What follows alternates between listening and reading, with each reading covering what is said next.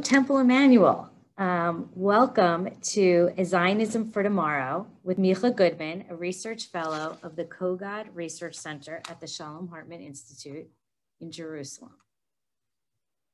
We are really, we're starting off here with Temple Emanuel, and we are grateful to you for being a presenting sponsor of our week of learning. And a huge thank you to Amy for helping to craft this Temple Emanuel at Hartman program. Eventually, we hope that we'll be doing a Temple Emanuel in Israel program, but until then, we're thrilled to be in your homes with you. Um, and to Rabbi Wes Gardenswartz. On behalf of the Institute, we really also want to thank Temple Emanuel writ large. We have an incredibly special partnership with you guys. And I, our goal is to be able to have this in many places, um, but you really stand out. And even on Zoom, it feels that way. So thank you to Temple Emanuel and thank you to Amy for her extraordinary work as a board member of the Institute and for being just an amazing partner on a day-to-day -day basis. Um, as many of you know, largely because of Amy and Wes's work, the Shalom Hartman Institute is a pluralistic think tank and educational center for the Jewish people. For additional learning, you can listen to our podcast, Identity Crisis, or have, and or for heaven's sake, and read our Journal of Jewish Thought Sources, and probably check your Friday emails when Amy sends out a really awesome digest of Hartman programs. My name is Jenny Notice Liss, and I'll be helping to facilitate this session with my colleague Ariel Meiri, who is working behind the scenes. And actually, we are, I feel like we're piloting a plane here. We're actually sitting next to each other in a conference room. Um, and should you have any difficulties technically, you might, you, you probably just want to text Ariel directly. Um, I, I, will be much less helpful than that, than he will be. Um, and here are a few things. I just want to go over some things before Micah starts teaching. Um, Micah is going to teach for about the first 45 to 50 minutes. He's going to leave the, the last 10 to 15 minutes for questions. During the time, as you have questions, chat them to me. And when Micah opens up for questions, I will be able to relay your questions to Micah and we'll get to the, as many of them as possible, okay? Um, this session will be recorded. If uh, and the recording is going to be available on the session webpage within 48 hours. If you do not want you, your video recorded, you can turn your video off. That, that's what my notes say, but I'm also going to add, but we prefer for you all to leave your video on while Micah is teaching. It feels a little bit more engaging. Um, we will post a link to the sources in the chat box. We ask that you do not share the sheets with others um, who are not involved with this program so as to protect the intellectual work of our faculty. Um, you can find out more about Micah by reading the bio linked at the bottom of the session page. And now we are ready to begin our learning and I'm gonna hand it over to Micah. Thank you. Can you unmute?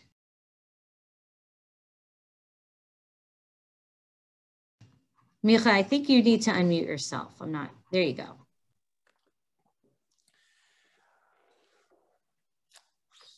Shalom, everybody. I don't feel like I'm back home because Zoom is not the real thing. We're still in Galut. We're still in exile. This is not yet, this is not yet me back in Temple Emanuel, but it's very nice to see some very familiar faces here. It's great to be with all of you. I've changed. I want to share with you how close I feel with Temple Emanuel. There was a different title set for this. It was about reflections about the current Israeli government is something I'm very interested in. And I realized I have like something I'm doing this week, another lecture about Zionism. And I started thinking, wow, Zionism is so loaded these days in the United States. And I feel like I used to understand the United States of America when I was in the United States for more than a year. And I feel like if I come back now, it might be, a, it seems a little bit different than it was when I left you all a year ago before COVID. And it seems like a lot has changed, and especially the conversation about Israel has changed. And Zionism itself is a term that's much more loaded. I silently, and also America is also very about, you know, um, um, very, very, there are some parts of America that are very sensitive of the way you speak. And if you say the wrong, the wrong word, the wrong idea, or quote the wrong person, you might, you know, you might uh, be canceled. There's this whole concept which is very foreign to Israelis of cancel culture. Anyway, you start, oh my God, I can't speak about Zionism with Americans before I try it out where I feel comfortable, feel protected, feel at home with my friends, Temple Emanuel. So this is why, this is how close I feel to you all. And this is also why we changed the title of this lecture. So I want to speak about Zionism. I don't even, I don't think what I'm going to say is very provocative, but you see, that's the thing. I don't know, and I would love to hear feedback from all of you. So that's how close I feel and how, how comfortable I feel here with you all in Temple Emanuel in Newton. Theodor Herzl wrote two important books about Zionism. One book is called, he wrote in 18, he published in 1896 called The State of the Jews. Maybe that's how you translate it. Translate the Hebrew as Medinata Yehudim. He wrote that in 1896. And in 1902, he came out with his utopia called Alt Neuland.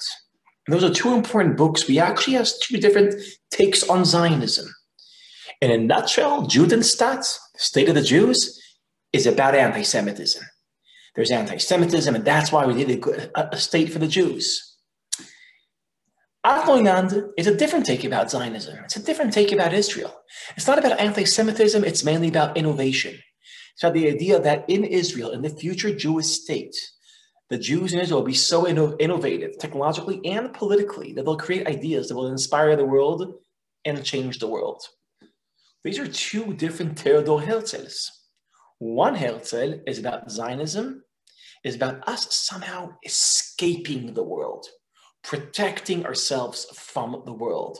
The second Herzl it's about us not escaping the world, but us serving the world, Israel in service of the world. I want to offer my understanding of these two Herzls, Alt Neuland and the State of the Jews, and the way I think we could use this distinction today. Alt, the State of the Jews is what Zionism used to be, Alt Neuland is what Zionism needs to be. Uh, the State of the Jews is what Zionism is a Zionism of yesterday, and Alt Neuland is a Zionism of tomorrow. And this is how I, I, I want to understand the difference. Um, um, the state of the Jews has a very, very important observation, and that is that in the 19th century, intellectuals in Europe were speaking about, like today we speak about different problems like global warming is a name of a problem, uh, poverty is a name of a prob- problem, political polarization is a name of the problem. In the 19th century, problems have names. It's interesting. Problems have names. The 19th century, there was a problem that had a name. It was called uh, Judenfrage, der Judenfrage. That's how intellectuals in Europe called the problem of the Jews or the, the Jewish question. The Jews were a problem that had a name, like global warming, Judenfrage. It was a problem and it had a name. And what is the Judenfrage? The way Jews experience the Judenfrage is anti-Semitism, which challenges liberalism, meaning European nation state. On the one hand, they want to be liberal and to emancipate all people, and they shall all have equal rights. But on the other hand, there is anti-Semitism is a very strong, living tendency and emotion. And these two tendencies, anti-Semitism and liberalism, clash. That's the Judenfrage. It means the presence of the Jews blocks the ability of European nation states to become what they want to be, because anti-Semitism is swallowing their liberalism. So that that's the problem, Judenfrage. And Herzl was Herzl thought like this problem is not going to be resolved. Liberalism is not going to win the argument. That's Herzl's prophetic observation. At the same time, in the 19th century, there is a different phenomenon, a universal phenomenon. The problem, the, the phenomenon of nationalism, where different nations believe that they deserve a state of their own, the right of self-determination, that every nation should govern itself by itself. And that's how suddenly the Germans are united and they govern themselves. And the Italians fight for their own liberty and they govern themselves. And the Polish and the, and, and the Flemish, and, not, not the, and, and so we have, oh, and by the way, it's a universal idea because all nation states should be organized, should be a part of the family of nations. It's the brotherhood of nations. Today we would say also the sisterhood of nations.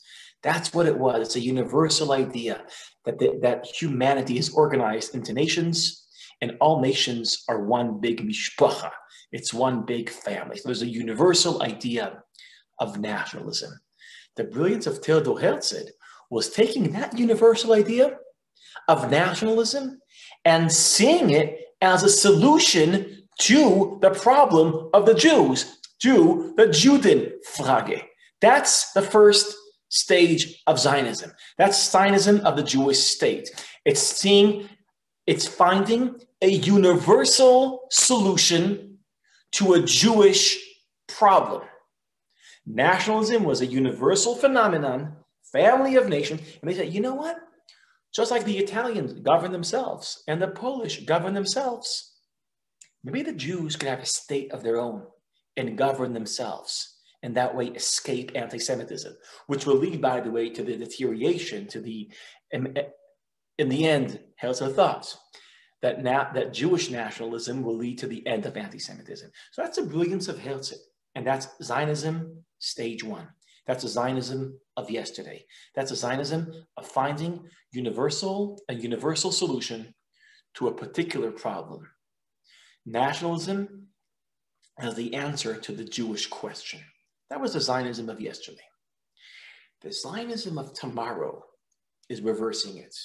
If the Zionism of yesterday is finding universal solutions to Jewish problems, the Zionism of tomorrow is finding Jewish solutions to universal problems. That's how I understand the movement from Judenstaat to Altneuland, from the state of the Jews of Herzl to, to the idea that the foundation of Zionism is not anti-Semitism, it's innovation. It's not only us escaping the world, it's also somehow us in service of the world. So, stage one of Zionism is a universal solution to a Jewish problem. Stage two is finding Jewish solutions to universal problems. That's the framing of this lecture. That's a framing I think might be helpful in thinking about the future of Zionism. What's a universal problem that Jewish tradition might have the power to help heal. I don't think it's global warming. I mean, global warming is a universal problem and the Jews should be a part of the solution. But I'm not sure that Judaism has within it the best ideas that could help us heal global warming. Jews participate in that. I'm not sure that's very uniquely Jewish. I think, but there is another problem political polarization. Rabbi Jonathan Sacks has a great, great observation. He says political polarization is the societal equivalent of climate change. Let me say that again. Political polarization is the societal equivalent of climate change. Just like the temperature of planet Earth is going up until a moment where planet Earth won't be habitable anymore. So our political conversations are heating up to a level where democracies can't function anymore. So just like planet Earth has to somehow cool down to save planet Earth, our political debates need to cool down to save our liberal democracies. Political polarization is a societal equivalent of climate change. And I think when it comes to political polarization, here it's possible that Jewish tradition, and within Jewish tradition, we have Jewish answers, Jewish ideas that could help heal this universal phenomenon, this universal problem. What is political polarization? Well, my best way of thinking about it is the following. It's a brand of hate. There's many brands of hate. Let's say if I hate someone because of the color of their skin, that's racism. If I hate someone because of their gender, that's sexism. If I hate someone because of a memory I have of something that he or she have done to me in the past, that's vengeance pay, there's many brands, there's many types of hate. If I hate someone because he is a leftist, if I despise someone because he supports Netanyahu, that's polarization. When you hate someone because of their political affiliation, that's polarization. And polarization always exists, it's just on the rise, it's on steroids in the United States, in England, and Hungary, in Brazil, and Argentina, and in Israel too. And here's a question How do we tap into the best of Judaism to be the best out of ourselves, bring the best out of ourselves? How can Jewish tradition help heal polarization? That's a question I want to ask. And Israel, and, and before I ask that question, I want to say something that more and more is becoming hopefully obvious to many people. One of the reasons why political polarization is on the rise is because of technology, because of the digital revolution. The, di- the digital revolution, which is based on a new economy, the economics, the industry of it, it, an economy that's based on the idea that you could commoditize human attention, that human attention is a commodity. And the great companies that are that we're that what they're doing is what Tim Wu from Columbia University calls they are attention merchants, which means like Facebook, Google, we are giving them our attention for free. And they're taking that attention, repackaging it, and selling it for money. And that business of trading with human attention, that's what's creating polarization. Because as a result of all that business, the algorithms that are trying to grab our attention are radicalizing us. And we're trapped within angry tribes that hate the other angry tribes, that hate us back. So there's technology, this contemporary technology, the digital revolution, based on the attention industry, is creating these high levels of polarization. One way to see it is like this the industrial revolution is creating the problem of global warming the digital revolution is creating the problem of political warming, of political polarization. And just like we're asking, how do we protect planet Earth from the unintended consequences of the Industrial Revolution, we should also be asking, how do we protect our democracies from the unintended consequences of the digital revolution? So, Israel is a great example. It's a great test case. I'll tell you why. Israel is might be the most successful nation on earth technologically per capita. Israel is a technological miracle. There's more companies that are that are in the interest in 2020 that went public in Nasdaq than all of Europe together. Israel per capita is a is a technological miracle, and technological innovation is becoming the symbol of Israeli success on the one hand. But us Israelis were so successful technologically. How successful are we politically? I think the story of Israel in 2020 is that we're a success technologically and we are failing politically. And here's a question the same technology that Israelis are so, we are so proud of is also the same technology that's creating the politics that we can't be proud of. So, I want to do now is try to find out what are the sources, the cultural genes of Israeli technological innovation. And there is a book that's tried to that, that investigated this question. I'm sure many of you heard of this book. Some of you probably read this book. It's called The Startup Nation. And when it asks why are Israelis so innovative when it comes to technology, it answers it has everything to do with Israeli circumstances. The military is a big piece. Ashmone Matayim, 8200, the intelligence unit that generates all this creativity. And so all their, all the examples in the book, almost all of them, are very Israeli, trying to say, if you want to understand Israeli technological innovation, try to understand Israeli culture, because Israeli culture, the conditions created by the Israeli, by the Jewish state, by Israel, is creating Israeli innovation. I have a problem with that argument. I'll tell you why. Israel itself is a startup. Israel itself was born out of tremendous innovation, tremendous creativity, tremendous flexible thinking, tremendous out of the box thinking. Israel, the state of Israel, is a product of the spirit of innovation.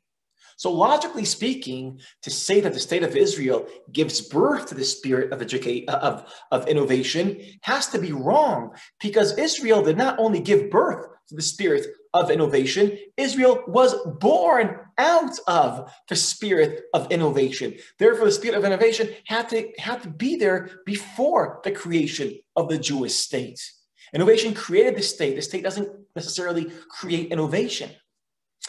So I want to locate the genes of Israeli innovation in our deep Jewish roots. And I want to start with the Tanakh, with the Bible, and then move to the Talmud to see the two sides of the cultural genes of Israeli innovation. So I want to start with Tanakh. And uh, Ariel, if you could show me, you want to start with a with a figure called Gidon, Gideon. And when Gideon was, you know, in the time of Gidon, this was a time where the Midianites were terrorizing, or it was kind of like economic terror. And the Israelites at that time were in despair and they felt like they felt like they had nowhere to go. And because of, of this despair, and because they felt like the Midianites are somehow shaping their destiny and they can't they don't own their own their destiny and they have no control over their destiny. So god appears to Gidon for trying to inspire Gidon to take charge of history. And this is what happens. I'll read from hebrew because the bible was written in hebrew. Please feel free to follow me in english or to listen to my hebrew the bible's hebrew i'll try to translate on the run ויבוא מלאך אדוני וישב תחת האלה אשר בעופרה, אשר ליואש אבי העזרי, וגדעון בנו חובט חיטים בגת להניס מפני מדיין, it's a little bit technical, describes how God appears to Gideon beneath a tree. Okay, some people say it sounds like the burning bush of Moshe. Interesting analogy. We won't go into it now. Vayar elav malach Adonai, and God's angel, like God has an appears to Gideon. There's revelation here. Adonai imcha giborachai. God appears to him and he says, God is with you, hero. God is with you. Hashem imcha. God is with you. Now, religious traditions are filled with revelations. And there's almost a generic response to revelation. When God appears, people are shocked and people faint, and people become ecstatic, and people are filled with awe. That's how people respond to God appearing. And here's Gidon. God appears to him. And he says to him, Hashem imcha, God is with you. And how is Gidon going to respond to divine revelation? Well, this is how he responds. Vayomer Gidon, and Gidon says, says back, Biadoni? Biadoni means he says to him, God is with you. So he says, with me? Be Adoni? V'yesh Adonai imanu? Is God with us? God appears to Gidon, and Gidon responds to revelation with skepticism. God is with us? And then he says, um, if God is with us, so why do all these bad things happen to us? that question, why do bad things happen to good people? This is a question that Gidon is responding to revelation with. ואיה כל נפלאותיו אשר סיפרו לנו אבותינו, הלא ממצרים העלנו אדוני, ואתה נטשנו אדוני, ויתננו בחוף מדיין. Whereas we heard stories about God, the God that liberated our great, great, great grandparents, our, fa- our fathers from Egypt, he was there with them. He's not with us anymore. Nitashanu Adonai. God neglected us. God deserted us. This is interesting. So many times. I remember as a child of asking myself, where is God that used to be in the time of the Bible? Well, it turns out that question was also asked in the time of the Bible. You see, every past has a past. and every nostalgic past, when you were then, it also had another nostalgic past. Can I tell you else? Well, because when the Israelites left Egypt, they, they were like, um, why, why, why did we leave Egypt? It was better then. Every past has a past. So, so here we have revelation, and you have Gidon responding to revelation with skepticism and with chutzpah. So now what's going to happen to Gidon? Instead of being in awe, he's skeptical and is rejecting what God says to him, what's going to happen to him? Is like lightning going to come out from the sky and kill him? Is the land going to be open and swallowed? What's going to happen to Gidon? How is God to respond to his chutzpahdik skepticism? How is God to respond to that? Well, here's how God responds. The next verse, God approaches him and he says to him, Lech ze voshata et Israel. Go with this strength and save Israel. With this strength, בכוחך זה, והושעת את ישראל מכף מדיין, הלא שלחתיך. What is God not saying to him? He's not saying, first of all, calm down. respect me. Get over your skepticism. And if you'll do that and be more pious, then you'll be chosen to save Israel. That's not what he said. He said the opposite. He said, Go with this strength, the strength that you have that enables you to question God's existence, to express skepticism in the face of revelation. This chutzpah that you have, this is the strength you will free Israel with. You will save Israel with. God tells Gidon, as opposed, as opposed to what we'd expect, that because Gidon is not surrendering himself to God, because he's not a yes man, that's why he's chosen. That's why he can save Israel. That's the strength. The strength that doesn't accept authority. The strength enables people to think out of the box because there is no box to begin with. Because they're so free, because because they're courageous and free thinkers. That's the energy that can save Israel. With this strength and save Israel. Wow. That's how that's that was a surprise. Surprise number one was how Gidon responds to revelation. Surprise number two is how God responds to his response. That's what I want. The fact that you're not a yes man. That's why I chose you. With that strength, go save Israel. Now, this idea of Gidon, it's not the first time in biblical historiography that we have a hero that doesn't surrender himself to God. Actually, the founding father of this tradition is Abraham. Uh, Ariel, let's move down to Abraham for a minute. Yes. And this is the famous verses. These are the famous verses when God tells Abraham that he's going to destroy Sodom and How does Abraham respond? We expect to respond the response to be, "Well, God, if that's what you want, that's what's going to happen, and you know better uh, than us." And Abraham surrendering himself to God, but that wasn't Abraham's response. God, Abraham's response was different. Abraham responds to God's declaration with a question Are you really going to do this? To kill innocent people among the vicious people of Sodom? And then he goes on, I'm skipping to verse 25, where he says, Abraham says to God, Don't you dare do that. You're not allowed to kill innocent people among vicious people.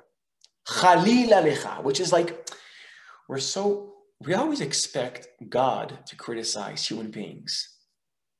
But the Bible presents a human being that criticizes God. And then he says, is the God of justice not going to do justice? Again, it's all reversed. God doesn't criticize Abraham, Abraham criticizes God. So Gidon inherits this tradition. Not only Gidon, by the way, Moshe Rabbeinu, yes, is also a part of this tradition. If we go down to the next to the next verse, this is from Parashat Korach. We'll just, we'll just do it very quickly. In part number three, when God says to, to, to, to, to Moses, He's not only going to kill Korach, but also 250 people that joined him in the coalition. So Moshe speaks to God. I'm, very, I'm reading from verse 21. He, uh, he, but sorry, verse 22. Moshe and Aaron together say, they fall on their faces when they realize that God wants to kill all 250 men. And they say, El Elohei haruchot lechol basar, ha'ish echad yecheta, ve'al kol ha'edah tikzof. Really, one person sins, and now you want to have a collective punishment. It's very similar of Abraham. You're going to kill innocent people for the sin of one person, of one not innocent person. Again, there's a tradition here of Abraham, of Moshe, of Gidon. Ariel, maybe there's now time to go to, to, to, to go back. This is a tradition that the best way to capture it. No, no, no. Uh, um, let's go back, not not not from to to uh, to the regular screen. Um, this is a tradition that my teacher Avi Ravitzky once put it this way. This tradition, by the way, doesn't stop at Gidon. Jeremiah chapter 11 does the same. The book of Habakkuk does the same. The entire book of Job does the same. There's chapters in Psalm that does the same. What are they all doing? Well, you see, human beings, us human beings, I think I shared this with my, our friends in Temple Emanuel a few years ago. We are changed by what we admire. If you admire athletes, there's a good chance you'll be more sporty. If you admire intellectuals, there's a good chance they'll be reading more books. We become what we had, like admiration changes the admirer, right? If you admire famous people just because they're famous, you might become more narcissistic. That's a problem we have in Western civilization, by the way.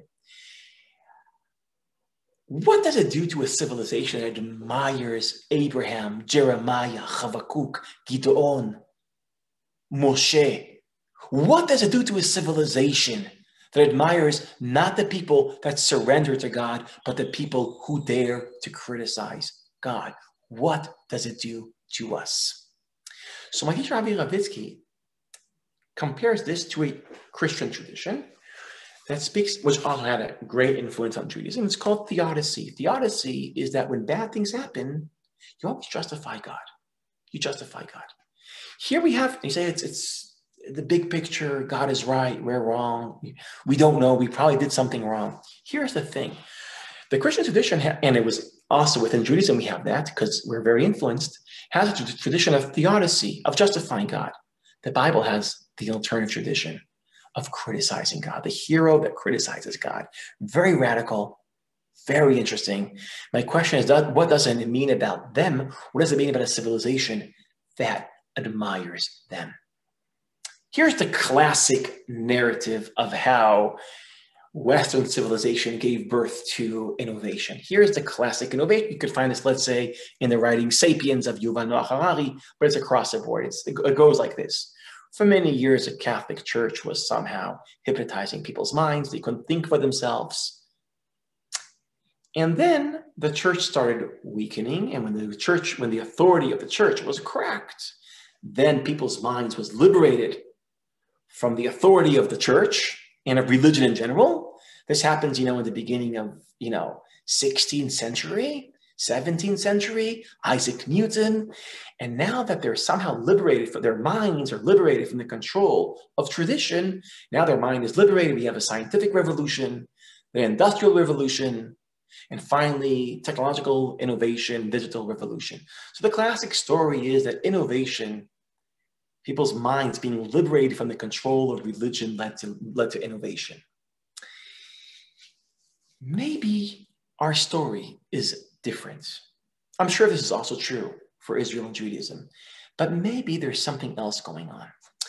Because it's hard to say that Israeli innovation is a result of the fact that we liberate ourselves from the authority of tradition. Maybe it's different. And here's the difference. Here's one line I want to share with you. I've been waiting a long time to say this line.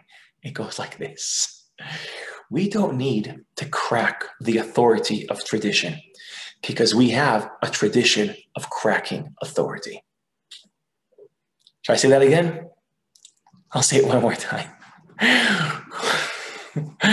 We don't need in order to liberate our minds, we don't need to rebel against tradition. In some way, we have to continue tradition. Why? Because we don't need to crack the authority of tradition. We have a tradition that cracks authority. The tradition of Abraham, the tradition of Moshe, the tradition of Gidon. This is, I think, one very big component. If you go to any high-tech, high-tech company in Israel, and you'll see one thing very clear: no one is afraid to speak up. There is no authority in the room. No matter how much power, how much money people have, no one is afraid to speak up. People are, their minds are liberated. And are they liberated because we're liberated from tradition or because we have a tradition that admires liberated minds? So that's one, I think, important component in the in the traditional Jewish genes of Israeli technological innovation. But that's not enough. The reason why it's not enough is because creativity is not doesn't only depend on my ability to think for myself and not and my and my liberation from the need to satisfy power and authority. That's one condition, but that's not enough. Because as Rene Descartes taught, observed, the greatest threat to free thinking is not external authority like the church or a rabbi. The greatest threat is the authority that's within us. Here's how it works. Yesterday, I had an idea. What am I doing today? I am repeating that idea. Tomorrow, I'll repeat that idea again. And every argument, I'll be protecting this idea. And as a result, I'll be trapped, my, mentally speaking, I'll be trapped deeper, deeper inside this. I'll be digging myself deeper into this idea, which means many times our lack of ability to change our own minds is what keeps our creativity very, very narrow.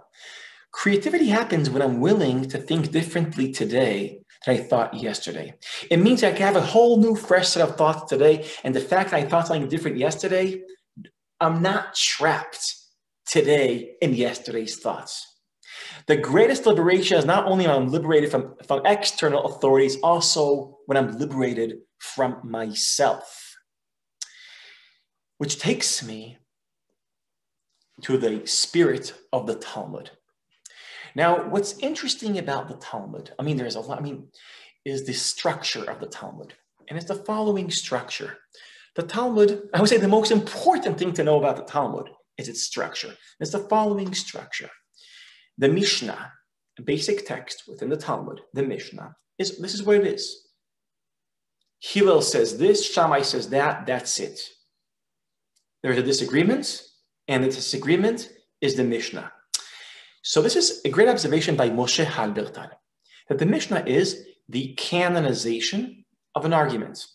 Now, at the same time that the Mishnah was canonized, roughly the same time, this is Halbertal's great observation, the Roman law was also canonized, roughly, not, not exactly the same time. And the Roman law, it's a law. And you could assume that Roman intellectuals had arguments about the law.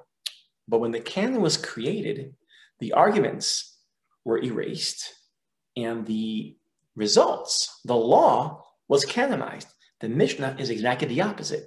You can't find the law in the Mishnah, only the argument about the law.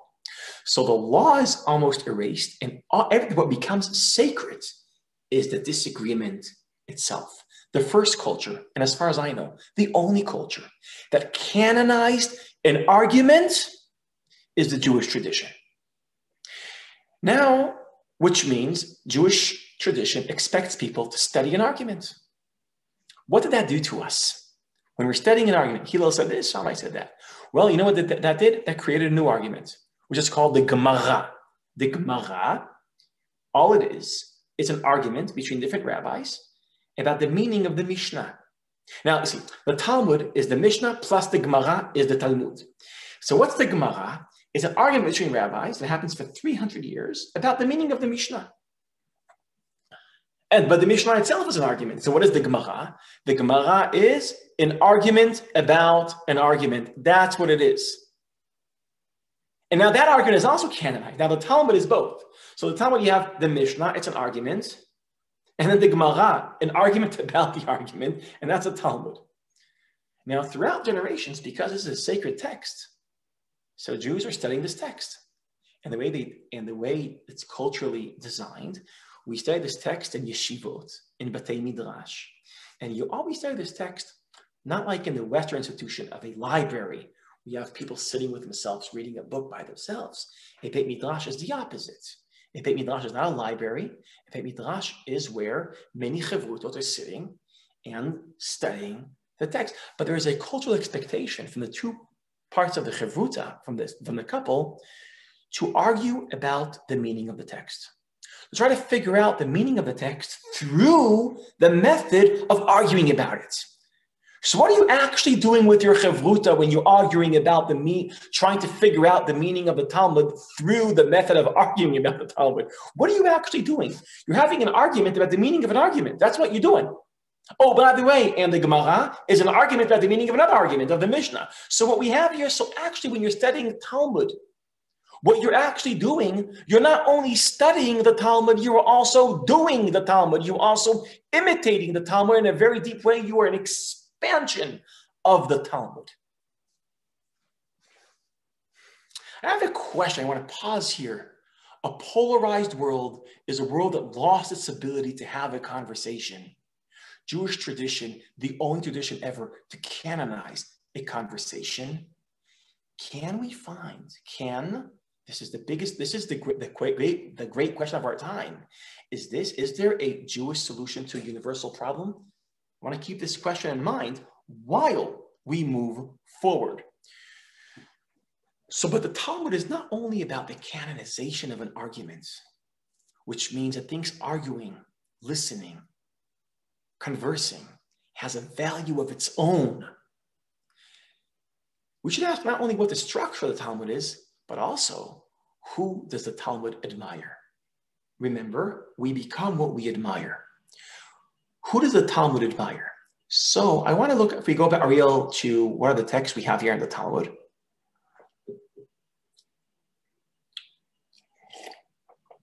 Um, I'll skip the bit. We don't have, I'm running out of time, so let's move to, to source. Oh, no, no. I was wrong. Source number four. Source number four. Okay. Okay. Amar Rav Yehuda Amar Rav. Rav Yehuda is a rabbi quoting his rabbi. It's a very interesting. These are very interesting people. Rav Yehuda is a person that, that comes from many worlds. Mm, so he's he has multiple voices in his mind. He's the Talmid of Rav and of Shmuel and of Sura and Pumbedita. And um, and he says, Ein Moshivin Basanhedrin, The Sanhedrin is the most exclusive intellectual club that ever existed in the Jewish world, the Sanhedrin. What does it take to be a member of the Sanhedrin? So here's what it takes.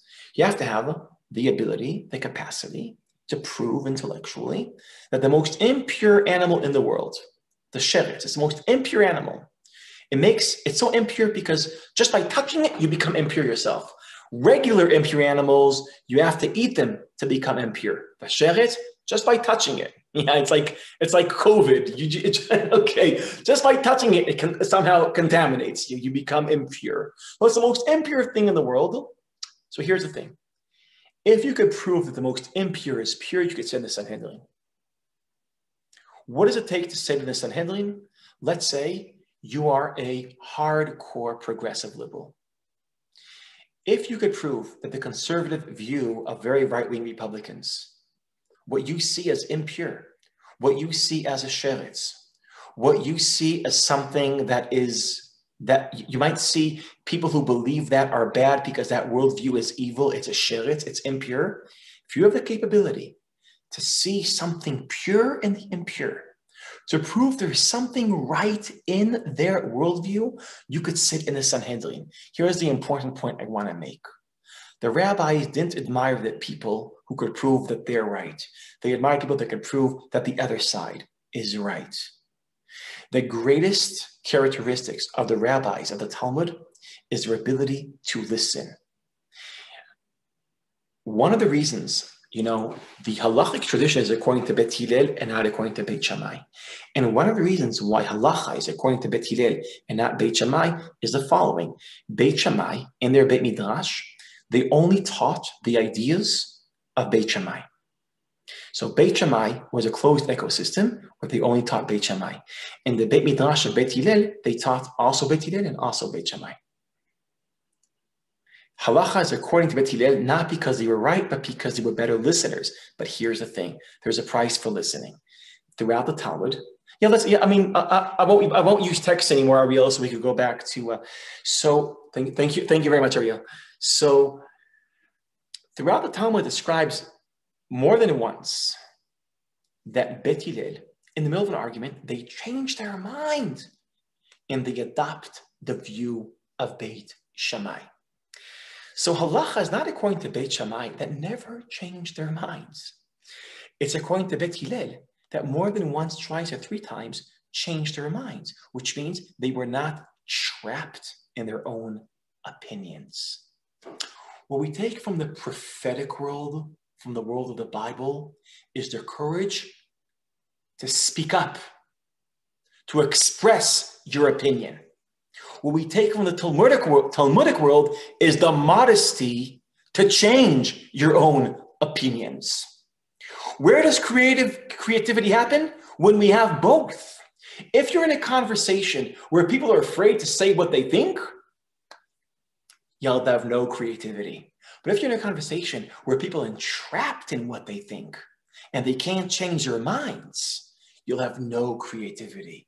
Creativity is what happens when the biblical world and the Talmudic world meet, when we have the courage to speak up and the modesty to change.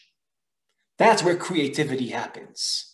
You walk into any startup in Israel, you'll see both. You'll see people having strong ideas one day, and the next day, you know what? I think you're right. I think I'm wrong.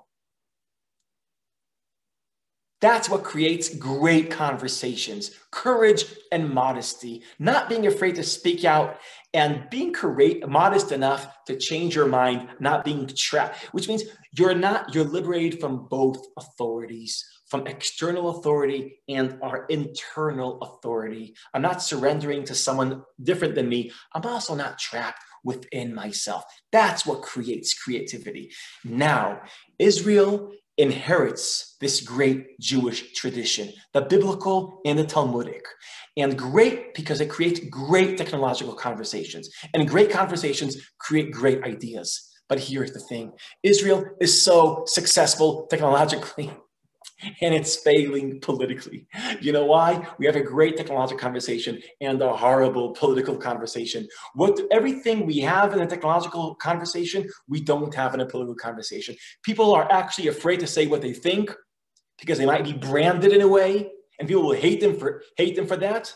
And at the same time, people are trapped in their own worldview of their own tribe. And they have a very hard time changing their mind. It's actually very rare. So you're surrendering to the authority of the mob by not speaking out, the authority of yourself by never changing your mind. And that's how why Israel is so not creative politically. And at the same time, very creative technologically. But we have to remember that these things are connected to each other because today's technology, that is a product of creativity, is killing political creativity. That's the paradox of our time. We need to be so creative to create technology, the kind of technology that is threatening our creativity, our political creativity. When I think about Israel today, this is what I think about. We have technology is how the best of Judaism is bringing the best out of Israel. Politics is how the worst of technology is bringing the worst out of us. And here's a question is the spirit, the Jewish spirit that's creating such a healthy technological conversation, can that Jewish spirit heal our political conversation? And if it can, if our Jewish tradition can heal our political conversation, can that be a role model for a world that lost, lost its ability to have a healthy, great political conversation where people are not afraid to say what they think and they're also modest enough to change what they think. Because if we have that political conversation, we'll have also political innovation. Because great ideas come from great conversations. Our political conversation is not great, and that's why political, idea, political ideas are not that great. Israel's position in a special place because and this, this is how I, I want to try to think about Zionism of tomorrow. Today, we take pride of Israel being the startup nation. Trying to say, what are we trying to say? We're leading the world in technology. We're so innovative. Look at all these companies. Look at all these ideas. Look at all these startups. That's great. That's nice. I'm a big fan of that narrative. I just don't think that's Zionism. Zionism at its best will be when we can start saying Israel is not only leading the world and technological innovation, we're also leading the world in creating the culture that protects our democracies from technological innovation. That would be Zionism of tomorrow. There's a universal problem, and can it have a Jewish solution? Well, the, Jew, the universal problem is we lost our ability to talk to each other about loaded issues. The Jewish tradition is the canonization of great conversations. Can we tap into the best of Jews to be the best out of ourselves? Can we turn Jewish solutions into uh, Jewish Jewish solutions, create Jewish solutions to universal problems? And can Israel be the role model? And Israel is positioned to be the role model for because Israel is the startup nation, and we have to ask, ask the next question or we can not only lead the world in, in, in creating technology, but also creating a healthy technological culture where our minds, our hearts, our democracy is protected from technology. That I think, now this is how I go back to Theodor Herzl. Herzl said in Judenstaat, in Medinata Yehudim, Zionism is about anti-Semitism. Meaning we need a universal solution to a Jewish problem. Altneuland is Zionism is about innovation. We have to find our own solutions to universal to universal problems. I'm not saying, by the way, anti-Semitism is over and stage one is over. I'm just saying, when we think about a Zionism from tomorrow, what are we going to emphasize about this experiment of Jews having power, Jews having political loaded conversations, and Jews in Israel developing the most advanced technologies? is our the spirit creating technology kind of heal our politics, or is technology destroying our politics? That I think is the greatest challenge of Israel today. And succeeding in that challenge is a Zionism for tomorrow. My friends, that was 50 minutes. Thank you so much for listening to me. I'd love to hear all your questions and comments. Okay, I'm going to start with um, some of the questions, some of the comments that have appeared in the chat, um, even as I'm trying to process this through. So I'm just going to read some of these, and and you'll take them as you as you can. Okay. okay. So um, Rabbi, so this is from Paul Greenberg. Rabbi Jonathan Sacks noted in his book Future Tense that there is no modern Hebrew words for tact, civility, or diplomacy. He observed these words tend to arise in cultures that have long held power, and that their approaches that need were needed to soften conflicts that routinely arose in society. But Jews have been on you. I mean, this is really kind of, we know this at Hartman. This is really core to some teachings that Jews were so unused to power for so long, they didn't learn the art of conflict, of, of conflict containment. Assuming Rabbi Sacks' assessment of this dynamic has merit, do you think we can today learn to effectively use tact, civility, and diplomacy to soften the conflicts that routinely arise in Jewish society? And if you want, I can give you There's a interesting gap between um, modern Hebrew and Jewish tradition. Modern Hebrew, we have tact, civility, diplomacy. We don't have the words, we don't have the awareness of softening our language when we discuss loaded issues. That's the Israeli side. But the Jewish side, we're the only, just like as Israelis, we might be the only language with no word for tact. On the Jewish side, we're the only tradition to see conversation itself as something that has value of studying and studying again and then continuing the conversation. So, in this sense, I think I'm not saying Israel is a solution to universal problem. I'm saying Judaism has solutions to universal problems, and Israel should embody the Jewish solution as a role model mm. for the world. When I say, I'm not saying that's what Israel does. I'm saying this is our job. We are street fighters. This is what Israel should do. Thank you. Um, okay, I'm going to go on to the next one where somebody, um, David Phillips noted that non-Jews, and I we've read about agents, specifically Koreans, who study the Talmud on the premise that it is key, that on the premise that and that it's the key to Israeli innovation. There's no there's no question there, but I think there's a question about do you want to comment on that and and and how to think about this through the non-Jewish. Well, I think I think the Koreans got it. I want to share with you something. I used to remember something interesting in 2013 or 14 or when our prime minister Naftali Bennett was the minister of education. When was that? It was like 2000, whenever that was. So um, this is something he shares out loud. So I allow myself to share out loud. He called me up and he asked me, listen, I have the ministers of education from all the, um, how do you call it? The OE, the advanced countries, the OECD, the O, there's 36 advanced countries. Okay. They're coming to Israel and they're all interested on what, how is it that Israel is so innovative? And I told them, and, and he asked me if I'm if I am willing to give them a lecture. And I say I have something better than a lecture. We went, we took, I took them to with the secretary with with with Bennett. We went to a Haredi yeshiva, and there's a Haredi yeshiva in Jerusalem where you could see, like from the roof, you look down and you see hundreds of yeshiva boys studying Talmud. And we looked at them and I explained to them the text they're reading is an argument and they're arguing about the text. And that's the image they got. And I said, that is the secret to Israeli innovation. it's here. In the most not modern part of Israel, you see the genes of what's being the best out of modern Israel. And they went back and they told Naftali, they told today's our prime minister, that out of everything that happened to them in Israel, when they tried to understand, they went to high-tech companies to try to understand like what creates innovation, going to a yeshiva of seeing like people are used to walking into a library and seeing silence. They walk into a yeshiva and they see hundreds of simultaneous arguments. And I explained to them those are arguments about arguments. So that was something that is something that we that we could teach the world, but to do that, we have to be what we practice. Can we have the spirit of the Talmud heal our politics, not only our technology?